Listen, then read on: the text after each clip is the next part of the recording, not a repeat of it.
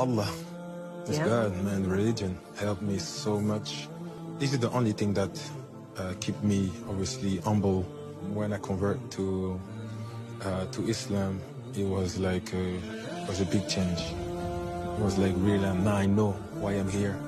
Um, I know that there's only one God, and you just have to you just have to follow his step, and that helps me in life with the family, with football, with um, with my kids. Just to, for me, Islam helped me to to open my eyes.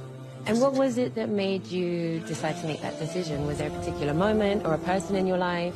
No, it was, um, you know, I had a lot of friends that are Muslim, just the way that they were behaving, uh, praying together when it was Ramadan, you know, I used to go and eat with them, and I really love to share those moments with them, go to the mosque.